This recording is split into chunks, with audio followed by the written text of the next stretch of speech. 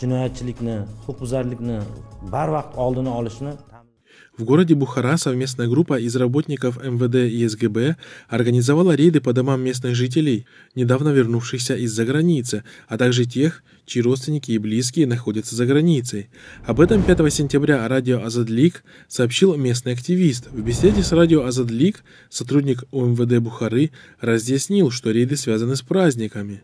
Представившийся майором милиции Хамза Туев по этому поводу сказал, рейды носят профилактический характер и направлены на обеспечение мер безопасности. Также, по его словам, во время рейдов сотрудниками соблюдаются все права граждан. Однако, по словам дворника Махалли имени Алим Худжаева, 27-летнего Зухриддина Рашидова, представители силовых ведомств вели себя очень грубо, потребовав документы на дом, а личные документы силовики сфотографировали даже против воли жителей.